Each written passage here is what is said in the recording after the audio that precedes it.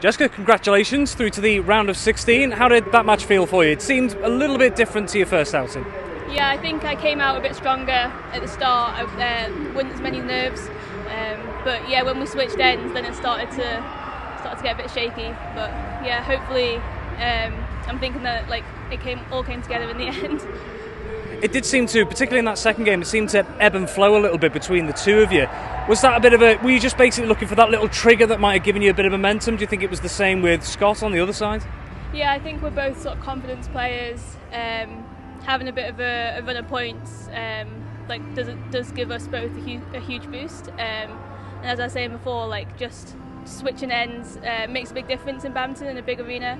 Um, just because like the timing is slightly different when you um, with the shuttle, so took a bit of time to adjust to that. But then once I was happier and um, yeah, being able to play a bit freer, then yeah, it all worked out.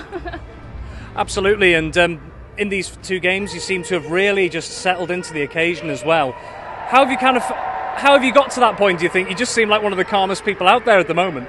Yeah, I think um, naturally I just don't. I've never really shown that much emotion on court. Um, it's always helped to sort of keep my focus, stay in my own head, um, and try and not let sort of anything external affect me. Um, so yeah, no one really knows how I feel on, while I'm on court, but um, yeah, we're glad to, to get through it. I'm sure you probably heard behind you at the end. You've had plenty of Team Isle of Man in here to support you today. That must have been quite nice to see them as well. Yeah, it's amazing on both to have like Isle of Man support on both sides, seeing the flag everywhere.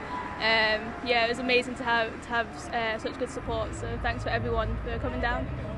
Absolutely, and uh, just looking ahead now to your next game, whoever that may be against, and, and, and whenever. Um, what are the sort of things you want to take from this one that you can maybe build on for the next one in the round of 16?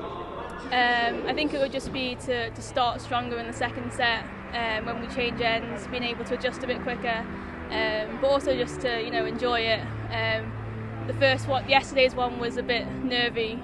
Uh, today's one was about like getting the job done and playing my game. So tomorrow I want to go out there, play my game, but also enjoy it a bit more as well.